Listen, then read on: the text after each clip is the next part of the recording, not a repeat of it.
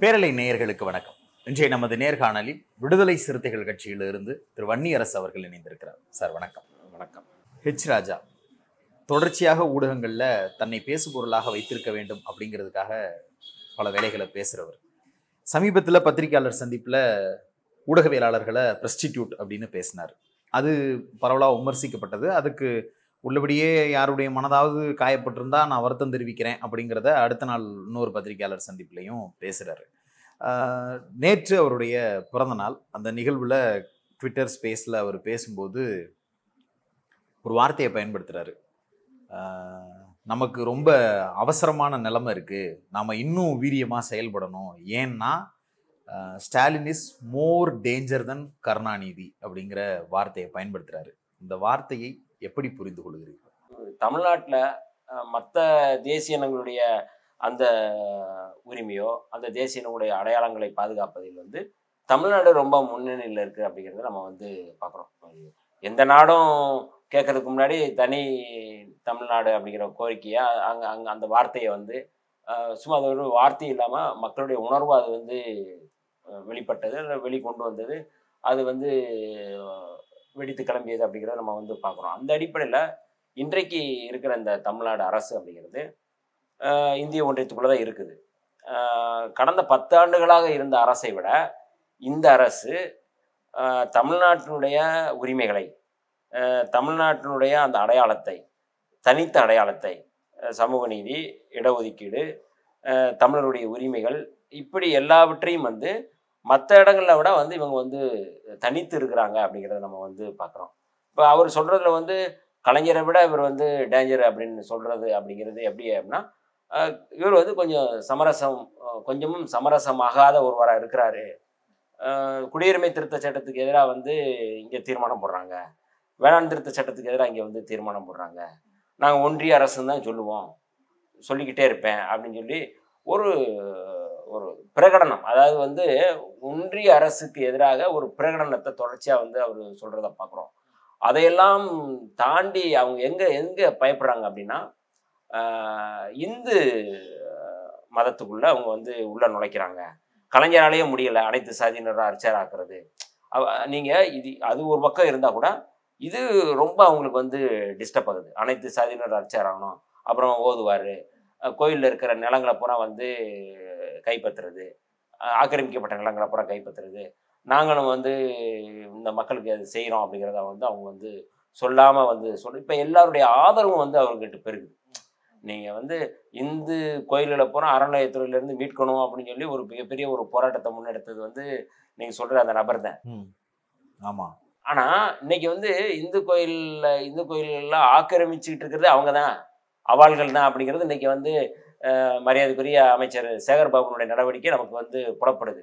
எத்தனை ஆயிரம் ஏக்கர் நிலங்களை வந்து இவ்வளோ காலம் வந்து அவங்க அனுபவிச்சிருக்காங்க? இருக்காங்க எதுக்காக அனுபவிச்சிருக்கிறாங்க?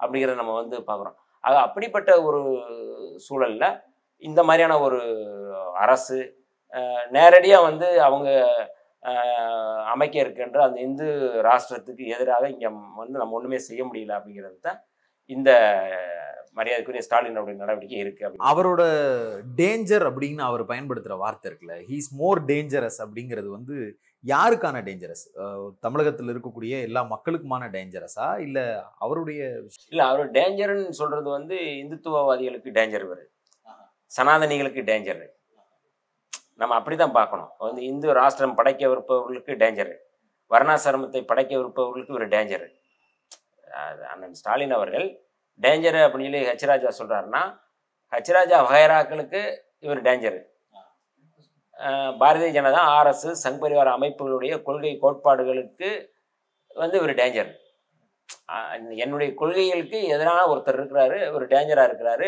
இவரை அணுக முடியல இவரை நெருங்க முடியல இவர்கிட்ட வந்து நம்ம அப்ரோச் பண்ண முடியல நம்முடைய கொள்கை திட்டங்களை கொஞ்சமாவது வந்து காது கொடுத்து கேட்கக்கூட முடியல அவர்கிட்ட அப்படின்ற ஒரு சமரசம் இல்லாத ஒரு இடத்துல அவர் இருக்கிறாரு அப்படிங்கிறதுனால அவர் டேஞ்சரு அப்படின்னு அவங்களுக்கு அவர் வந்து எச்சரிக்கை கொடுக்குறாரு.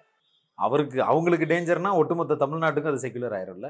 அப் அந்த அந்த டோன் அதில் வருதான்னு கேட்குறேன் இல்லை அப்படி நீங்கள் வந்து இது இதுகாரம் வந்து தமிழ்நாட்டை பொறுத்தளவு வந்து ஆரியத்துக்கும் திராவிடத்துக்குமான அல்லது சனாதனிகளுக்கும் சனாத சனநாயகத்துக்குமான அல்லது வந்து நீங்கள் வந்து ஒரு சமூக நீதிக்கும் சனாதனிகளுக்குமான ஒரு தொடர்ச்சியான அண்ணா காலத்தில் பேரறிஞர் அண்ணா காலத்திலேருந்து தந்தை பெரியார் காலத்திலேருந்து இது தொடர்ச்சியாக இருந்துகிட்டே இருக்குது மற்ற மாநிலங்களில் பூரா அது வந்து கொஞ்சம் கொஞ்சமாக வெற்றி அடைஞ்சிட்டு இருக்கு. இந்தியாவிலேயே மு இந்தியா முழுக்க அதுதான் இருந்தது. மற்ற மாநிலங்களில் அவங்க வந்து ராமர் பேரை சொல்லியோ இல்லை பரசுராமர் பேரை சொல்லியோ இல்லை யாரோ ஒருத்தர் பேரை சொல்லி அவங்க வந்து வன்முறையை கலப்புவது சட்டம் இது பண்ணுறது அந்த மாதிரியான ஒரு வேலையை செஞ்சுட்டு இருந்தாங்க. ஆனால் தமிழ்நாட்டில் அதை ஊடுருவ முடியல. அது ஏன்னா தளபதி ஸ்டாலின் அவர்களுக்கு முன்பாகவே பேரறிஞர் அண்ணாவுடைய தந்தை பெரியாருடைய புரட்சியாளர் அம்பேத்கருடைய கொள்கைகள் இங்கே வந்து ஸ்ட்ராங்காக இருக்குது. அதனால் இங்கே வந்து முடியலை அப்படிங்கிறது தான் அவங்க வந்து நம்ம ஒன்றும் பண்ண முடியல நம்ம நம்ம நம்ம நிலைமை அபாயத்தில் இருக்குது அப்படின்னு சொல்கிறாங்க நீங்கள் பார்த்த வரையில் கருணாநிதியை விட எந்த இடத்துல பிஜேபிகளுக்கு சனாதினிகளுக்கு ஸ்டாலின் ஒரு சிம்ம சொப்பனமாக இருக்கிறார்? இல்லை அதாவது கோட்பாட்டு அளவில் வந்து தெளிவாக இருக்கிறாங்க. அதில் எந்த மாற்று கருத்தும் இல்லை. நம்ம வந்து சனாதனத்தை வந்து வீழ்த்தணும் மதவாத சக்திகளுக்கு இங்கே இடம் இல்லை அப்படின்னு சொல்கிறது ரொம்ப அதில் வந்து தெளிவாக இருக்கிறாங்க. இந்த இடம் என்னென்னா க- கலைஞர் அவர்களிடம் வந்து இப்போ ராமகோபாலன் கூட என்னை வந்து போய் நேரடியாக போய் நெருங்கி பேசுகிறதுக்கான வாய்ப்பு இருக்கும். அந்த மாதிரியான ஒரு ஒரு அப்ரோச்சபிளாக வந்து இருப்பாங்க. ஒரு அது வந்து ஆனால் இவர் தளபதி ஸ்டாலின் அவர்களிடம் வந்து என்னென்னா அந்த மாதிரி சக்திகள் வந்து நெருங்க முடியாத அளவுக்கு இவர் வந்து செயல்பாடுகள் வந்து வலிமையாக இருக்குது சமரசம் பண்ண முடியாத இடத்துல இருக்குது அப்படிங்கிறத நம்ம கோட்பாட்டு அளவுலேயே நம்ம வந்து பார்த்துக்கலாம். எந்த இடத்துலையுமே வந்து அவர் வந்து இப்போ கலைஞர் கூட இந்த மாதிரி ஒன்றிய அரசு தான் அப்படின்னு வந்து அவர் வந்து எங்கேயுமே வந்து அழுத்தமாக வந்து சொல்லியிருக்க மாட்டாங்க. ஆனால் மாநில சுயாட்சி மாநில உரிமைகள் தொடர்பாக தொடங்கினவர் அவர் தான் அவருடைய வாரிசு அவருடைய கொள்கை வாரிசு தான் அப்படிங்கிறதுல வந்து எந்த மாற்று கருத்தும் இல்லை. ஆனால் இவர் வந்து கட்டமைக்கிறது அப்படின்னா மாத்துறாரு. அவ்வளோதான் வேற ஒன்றும் இல்லை. அவர் கலைஞரை விட வந்து டேஞ்சர் அப்படின்னு சொல்றது வந்து அப்படி நான் வந்து ஏற்றுக்க மாட்டேன். ஏன்னா க- கலைஞருடைய வடிவம் தான். கலைஞருடைய செயல்பாடுகள் தான். என்ன அப்படின்னா வந்து நெருங்க முடியல இவர்கிட்ட வந்து. இவரோட அப்ரோச் பண்ண முடியல அப்படிங்கிறத அதில் இருக்கிற நம்ம பார்க்கலாம் ஆனால் பரவலாக விமர்சனங்கள் எப்படி வருதுன்னா ஒரு சில விஷயங்களை இந்த கொடியேத்தினப்ப வந்த பிரச்சனை அதுக்கு கூப்பிட்டு பேசுகிறேன் அப்படின்றது வந்து ஒரு நல்ல சிக்னல் தான். பட் இந்த மாதிரி பிரச்சனைகள் வரும்போது சாதிய ரீதியான பிரச்சனைகள் வரும்போது கையாளுவதில் ஏதோ ஒரு சிக்கலை கொண்டு வர்றாங்க. அது ரொ- அந்த விஷயத்தில் எப்படி பார்க்குறீங்க? விடுதலை சிறுத்தைகள் கொடி அப்படிங்கிறது வந்து எங்களுடைய உரிமை அது. தமிழ் ஒரு ஜனநாயக நாட்டில் நம்ம வந்து கொடியேற்றுறது எங்கே வேணாலும் கொடியேற்றலாம் அது ஒன்றும் பிரச்சனை மக்கள் விரும்புகிறாங்க மக்கள் விரும்புகிற இடத்துல நம்ம வந்து கொடியேற்றுறோம் இந்த இடத்துல வந்து எங்களுடைய தலைவர் அவர்கள் அன்னைக்கு உரையாற்றும் போது மிக தெளிவாக சொல்லிட்டார். அதில் வந்து யாரும் இந்த மாதிரியான ஒரு பேச்சு பேசியிருக்க மாட்டாங்க. லெஜிஸ்லேட்டிவ்க்கும் வந்து அட்மினிஸ்ட்ரேட்டிவ்க்குமான பிரச்சனையை தான் வந்து வந்து சொல்கிறாரு கொடி ஏற்றக்கூடாதுன்னு கோட்டையிலேருந்து எங்கேயும் வந்து உத்தரவு வந்திருக்காது. அப்போ வந்து அதை செயல்படுத்துகிற அதிகாரிகள் வந்து இருக்கிறாங்க. இப்போ க உதாரணத்துக்கு வந்து சேலம் மாவட்டத்திலே இந்த கொடி பிரச்சனையை வந்து ஏற்படுத்திய மாவட்ட எஸ்பி ஸ்ரீ அபினவ்ங்கிறவர் வந்து ஏற்கனவே கடலூர் மாவட்டத்தில் எஸ்பியாக இருந்தார். அப்பயே வந்து பல இடங்களில் அவர் கொடியை தோறாமல் பண்ணியிருக்கிறாரு. அப்பயும் நம்ம வந்து பெரிய லெவலில் எதிர்ப்பு தெரிவித்து நம்ம வந்து பண்ணியிருக்கிறோம்.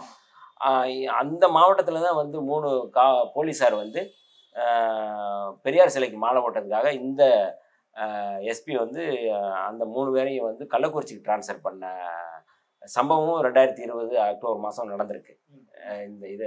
அப்போ பெரியார் சிலைக்கு மாலை போட்டால் ட்ரான்ஸ்ஃபர் பண்ணணும்னு என்ன இருக்குது அப்போ அது என்ன அப்போ அவர் அவருடைய பார்வை அதாவது எஸ்பியினுடைய செயல்பாடை தான் நம்ம வந்து சொல்கிறோம் நான் வெறும் ஒரு தனிநபர் அடிப்படையில் நான் சொல்லலை. இந்த மாதிரி தமிழ்நாடு முழுக்க இந்த மாதிரி ஆட்கள் நிறைய இருக்கிறாங்க. அந்த சமயத்துல விமர்சிக்கப்பட்டது எடப்பாடி பழனிசாமி தானே. உங்க தலைமையில நீங்க ஆட்சியில் இருக்கிறீங்க.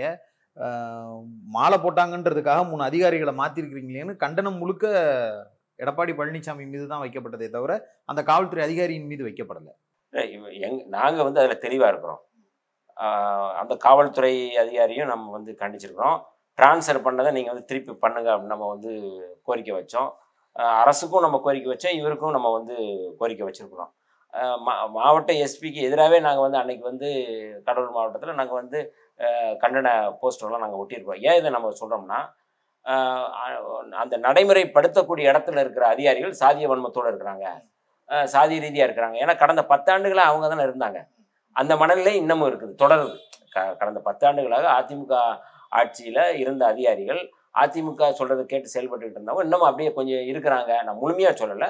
இருக்கிற அதிகாரிகள் இருக்கிறாங்க. அதுல ஒருத்தர் இவர் இருக்கிறாரு அப்படிங்கிறது நம்முடைய குற்றச்சாட்டு. ஓரளவிற்கு ரொம்பவே முற்போக்கான விஷயங்களை சாதிய ரீதியான பாகுபாடு இருக்கக்கூடிய விஷயங்களை கலையணும் அப்படின்னு விரும்பக்கூடிய இடத்துல ஸ்டாலின் இருக்கிறாரு. சனாதனிகளுக்கு சவாலாக இருக்கக்கூடிய இடத்துல இருக்கிறாரு அப்படின்னா இந்த அதிகாரத்தில் இருக்கக்கூடிய முதலமைச்சர் மு க ஸ்டாலினுடைய கூட்டணியை வைத்துக்கொண்டு விடுதலை சிறுத்தைகள் என்ன அஜெண்டாவை கையில் எடுக்கிறீங்க? இப்படி ஒரு வாய்ப்பு கிடைக்குது. நல்ல தலைவராக இருக்கிறாரு. நம்ம கேட்டால் அதை செஞ்சு கொடுக்கறதுக்கு உண்டான சூழலை உருவாக்கக்கூடிய ஒரு நல்ல லீடராகவே இருக்கிறாரு அப்படின்னா ஒரு அரசியல் கட்சியா? நீங்கள் தனி அரசியல் கட்சி. உங்களுடைய சார்பில் இருந்து அவர்கிட்ட வைக்கக்கூடிய அப்ரோச் என்ன? உங்களுடைய பதவி இருக்கும்போதே இதெல்லாம் எங்களுக்கு கிடைச்சிடணும் அப்படின்னு நீங்கள் ஏதாவது அஜெண்டா வச்சுருக்கீங்க? திமுகவோட கூட்டணி வைப்பதற்கு முதல் காரணம். முதல்ல வந்து நாங்கள் கையெழுத்து போட்டு குறைந்தபட்சமான இடங்கள் கிடைச்சா கூட பரவாயில்ல அப்படின்னு சொல்லி நாங்கள் கமிட் ஆனதுக்கு காரணம் என்ன அப்படின்னா தமிழ்நாட்டை பொறுத்தளவு வந்து பாரதிய ஜனதாவோ மதவாத சக்திகளோ சாதியவாத சக்திகள் கையில் போணுச்சுன்னா கடந்த பத்தாண்டுகளில் இருந்ததை விட மிக மோசமான ஒரு பின்னடைவை தான் தமிழ்நாடு சந்திக்கும். அப்போ தமிழ்நாட்டு மக்களுடைய உரிமைகள் தமிழ்நாட்டு மக்களுடைய அடையாளம் தமிழ்நாட்டு மக்களுடைய உணர்வுகளை நம்ம வந்து பாதுகாக்கணும் அப்படிங்கிறது நாங்கள் வந்து தெளிவாக இருக்கிறோம். விடுதலை சிறுத்தைகளுடைய அஜெண்டா அப்படிங்கிறது சாதி ஒழிப்பு தான். தமிழ்நாட்டில் வந்து சாதி ஒழிந்த ஒரு தமிழ்நாடாக மாறணும். வன்கொடுமைகள் இல்லாத ஒரு மாநிலமாக அது வந்து மாறணும். சமத்துவம் உள்ள ஒரு மாநிலமாக மாறணும் தான் எங்களுடைய அஜெண்டா. இது வந்து ஒரு பெரிய செயல் திட்டம். இது வந்து இந்த ஐந்து முதலமைச்சர் இதை செஞ்சிருவார் அப்படிங்கிறத நாங்கள் வந்து எதிர்பார்க்கல. ஏன்னா வந்து அது ஒரு பெரிய ஏன்னா ரெண்டாயிரம் ஆண்டுகளாக இருந்த சாதி பாகுபாடை வந்து ஒரு ஐந்து ஆண்டுகளில் கலைக்க கலைச்சிடலாம் அப்படின்னா. ஆனால் அந்த அவர் வந்து சமத்துவ சுடுகாட்டுக்கு வந்து இவ்வளோ லட்ச ரூபா ஒதுக்கியிருக்கிறேன். அப்படின்னு சொல்கிறாரு பாருங்க. அப்போ இது இதன் மூலமாக வந்து ஒரு செயல் திட்டங்களை வந்து அவர் வந்து கொண்டு நாங்கள் அதை வந்து நாங்கள் கேட்கல. ஆனால் வந்து அவர் வந்து அதை அறிவிக்கிறாரு அப்படின்னா அவர் தந்தை பெரியாருடைய கருத்துக்களும் பேரறிஞர் அண்ணாவுடைய கருத்துக்களும் புரட்சியாளர் அம்பேத்கர் அவருடைய கருத்துக்களையும் அவர் உள்வாங்கிட்டு இதை செயல்படுறாரு அப்படிங்கிறத நம்ம அரசியலமைப்பு சட்டப்படி என்ன செய்யணுமோ அதை செஞ்சாலே இங்கே வந்து ஒரு பாதிக்கு மேலே வந்து பிரச்சனைகள் போயிடும். நீங்கள் வந்து சாதியவாதிகளோடு வந்து இணைந்து சாதியத்தை வந்து உள்வாங்கிக்கிட்டு ஒரு முதலமைச்சர் இருந்தாருன்னா என்ன நடந்திருக்கும் அப்படின்னா அது கடந்த ஆண்டுகள் எப்படி நடந்துச்சோ அதுபடி தான் ஆகும். அதனால் எங்களுடைய எதிர்பார்ப்பு அப்படிங்கிறது ஒட்டுமொத்தமாக தமிழ்நாட்டினுடைய அடையாளம் பாதுகாக்கப்படணும். அதுதான் எங்களுடைய செயல் திட்டம். தமிழருடைய உரிமை வந்து பறிபோயிடக்கூடாது. கல்வி வந்து மாநில பட்டியலுக்கு திரும்ப வரணும். இப்படி ஒவ்வொன்றா நாங்கள் வந்து அப்படி தான் நாங்கள் வந்து பார்க்குறோம். எங்களுடைய போராட்டமே எங்களுடைய தலைவர் அண்ணன் எழுச்சி தமிழர் அவருடைய போராட்டமே ஒவ்வொன்றுமா வந்து நீங்கள் வந்து ஒன்றிய அரசில் இருக்கிற அதிகாரங்களை பூரா நீங்கள் வந்து மாநில அரசுக்கு மாற்றணும் அப்படிங்கிறது தான் எங்களுடைய கோரிக்கை. அப்போ அதுக்கப்புறம் வந்து நம்ம வந்து இங்கே வந்து இருக்கிற பிரச்சனையை களையிறத பற்றி நம்ம வந்து பேசலாம். இப்போ எங்களுக்கு இருக்கிற ஒரே செயல் திட்டம் வந்து இந்த செயல் திட்டத்தோடு நாங்கள் வந்து எதிர்பார் எதிர்பார்ப்போடு இருக்கிறோம். அது கொஞ்சம் கொஞ்சமாக நகருது அப்படிங்கிற நம்பிக்கையிலே இருக்கணும்.